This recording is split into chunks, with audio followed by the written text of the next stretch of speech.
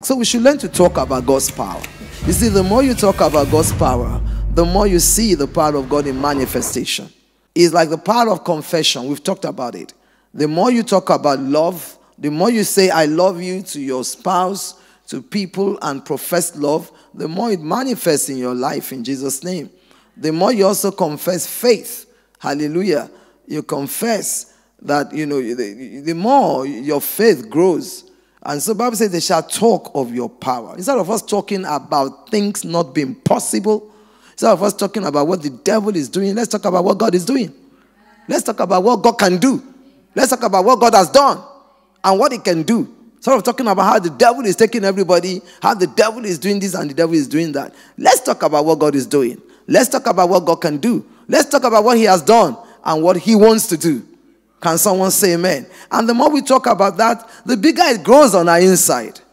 Like I said to us, the Bible tells us that all those idols, they are nothing. But why do we see them do stuff? Because the worshippers of them are the ones giving them the power they have. Because they carry their consciousness. When they talk about their idols, they talk about what the idols can do. They believe so much in those idols. Is that not true?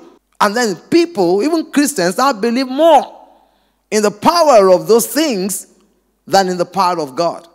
That's why we believe more in what the devil can do than what God can do. But we have to start stop, we have to start talking about the power of God. Can someone say amen? Psalm 145, 10 to 13. All your works shall praise you, O Lord, and your saints shall bless you. They shall speak of the glory of your kingdom and talk of your power. And talk of your power. To make known to the sons of men his mighty acts. We must make known to the sons of men the mighty acts of God and the glorious majesty of his kingdom.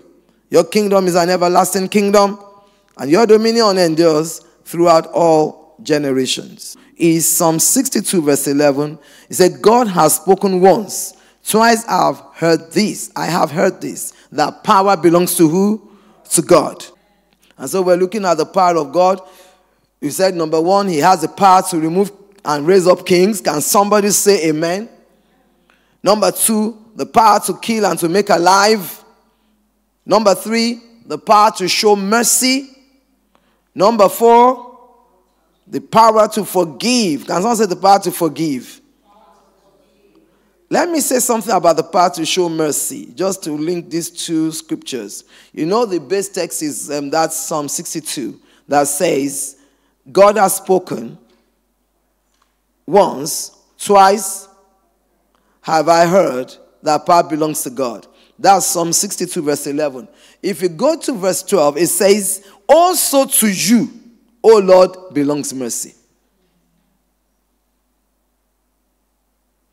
It says, Power belongs to God, but to that same God belongs mercy.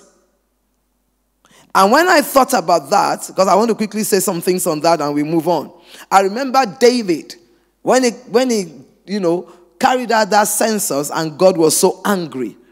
God was so angry with him and sent a prophet to him, Prophet Gad, and said, Go and tell David that I'm so angry and I'm giving him three options of punishments to choose from. And then Let's take it. I want to read quickly from 2 Samuel 24 14 to 16. And David said to Gad, that is the prophet, I'm in great distress. Please let me fall into the hand of the Lord, for his mercies are great. But do not let me fall into the hand of man. So the Lord sent a plague. Who sent the plague? Who sent it? That's why I was talking about the sovereignty of God. This is not to say that every plague you see, every evil you see is from the Lord. But if the Bible says the Lord sent something, the Lord sent it. The Lord sent a plague upon Israel. Don't, don't care about where he got it from. Just focus on the fact that he sent it.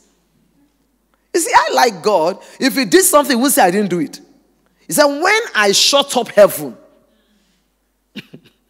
and there's no rain, if my people who are called by my name will humble themselves, amen, and seek my face, turn from their wicked ways and seek my face, I will hear from heaven. That's what you should bother yourself with. Where did he get it from? I don't know where he got the 10 plagues from. But he said, I will not afflict you with any of those plagues that I afflicted them with in Egypt. That's what he said. I mean, God will come out with his chest and say, I did it. Amen. You are the one trying to, you know, make God, you know, look like somebody who just goes around like a Father Christmas from the North Pole. Can somebody say amen? You must know how to relate with this God. And know that God is for you and not against you. And that God cares about you. Praise the Lord. Now listen, he said, I'm in great distress. Please let me fall into that. So, verse 15. So the Lord sent a plague upon Israel from the morning till the appointed time. From Dan to Beersheba, 70,000 men of the people died. And when the angel stretched out his hand over Jerusalem to destroy it, the Lord relented from the destruction and said to the angel who was destroying the people, It is enough.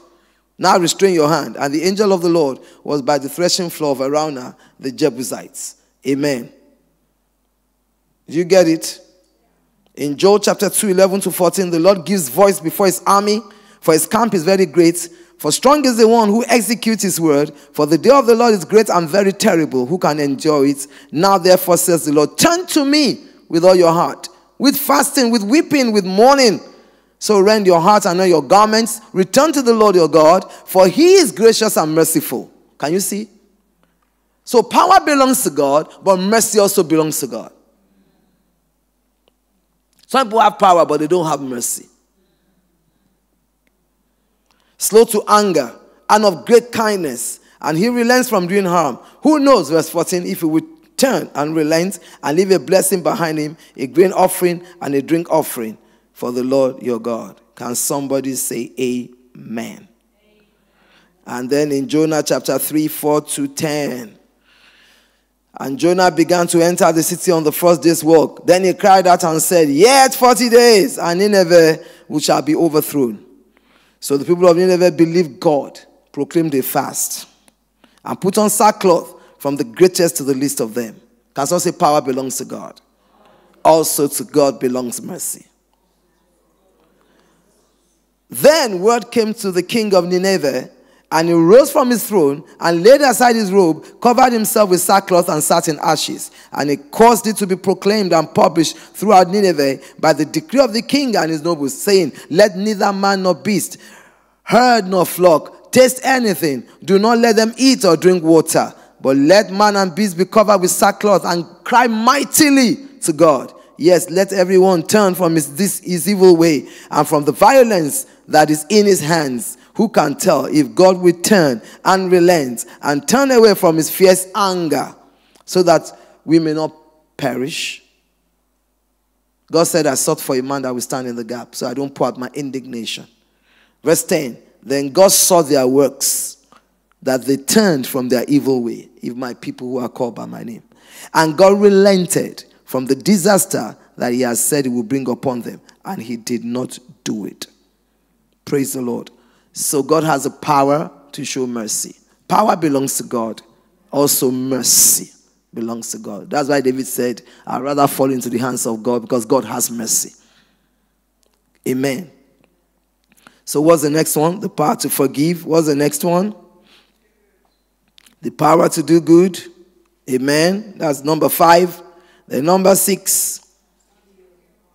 The power to heal how God anointed Jesus Christ of Nazareth, amen, with the Holy Ghost and with power, who went about doing good and healing. So the power to heal.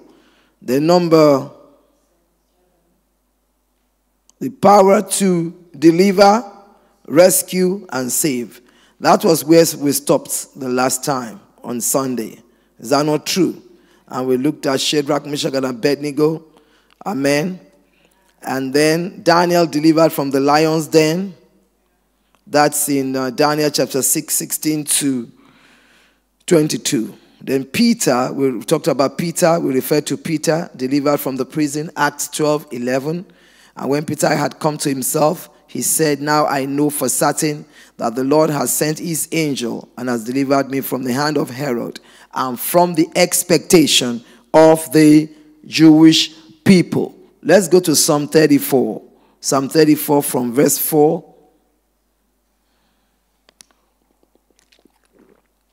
I sought the Lord, and he heard me and delivered me from all my fears. From some of them, all. They looked to him and were radiant, and their faces were not ashamed. Verse 6 This poor man cried out Either you are financially poor, or emotionally poor, or spiritually poor. Jesus said, Blessed are the poor in spirit, for theirs is the kingdom of heaven. The New Living Translation says, Blessed are those who realize their need for God. The poor, those who realize their need for God. So this poor man cried out. Either you are emotionally poor, financially poor, physically poor, mentally poor. As long as you realize your need for God. This poor man cried out, and the Lord heard him and saved him out of all his troubles. Don't forget that the word save is deliver. Deliver, rescue, save. Amen. Verse 7 The angel of the Lord encamps all around those who fear him and delivers them. Can you see fear him again? And delivers them. Verse 15 The eyes of the Lord are on the righteous, and his ears are open to their cry. Verse 17 The righteous cry out, and the Lord hears and delivers them out of all their troubles. Verse 18 The Lord is near to those who have a broken heart and saves such as have a contrite spirit. In Psalm 51, the psalmist said, A broken heart, a contrite spirit, God will not despise. When your heart is broken before the Lord, broken because of what you've done, broken because of a wrong or something like in Psalm 51, after David sinned with Bathsheba, he said, A contrite heart, a broken heart, a remorseful heart, God will not despise.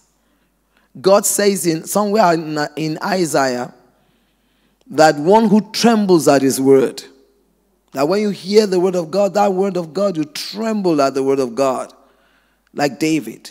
So he said, um, Verse 18 again, Psalm 34. The Lord is near to those who have a broken heart and saves such as have a contrite spirit. Verse 19. Many are the afflictions of the righteous. It is not the wicked or the unrighteous now, the righteous. But the Lord delivers him out of them all. And that translation says, The righteous may have many afflictions. I like that. So the fact that you are righteous does not mean that you will not have troubles. Jesus said, In the world you have troubles. In James chapter 5, the Bible says, Is anyone afflicted? Let him pray. That has to do with having troubles. Amen. Many are the troubles, the afflictions of the righteous. But the Lord delivers them out of some of them, all of them. The Lord will deliver you from all, out of all your afflictions. Out of all of them. All means all. If you're going to believe God's word and hold God to his word, you will see his salvation. Verse 20, he guards all his bones, not one of them is broken. Your bones will not be broken in Jesus' name. Amen. In Psalm 35, verses 9 to 10. And my soul shall be joyful in the Lord, it shall rejoice in his salvation. All my bones shall say, Lord, who is like you, delivering the poor from him who is too strong for him? The Lord will deliver you. He said, Yes, the poor and the needy from him who plunders him. Hallelujah. Delivering the poor from him who is too strong for him. The Lord will deliver you from any situation that is proving too strong for you. In Jesus' name. Thank you for listening to this message. We hope you have been blessed. Partner with us by helping us reach more people with this message across the globe. Call our office at plus 234 708 109 9229 or plus 44 77 864 309 36. If you would like us to pray with you, call us or send us messages on WhatsApp at plus 234 708 109 9229.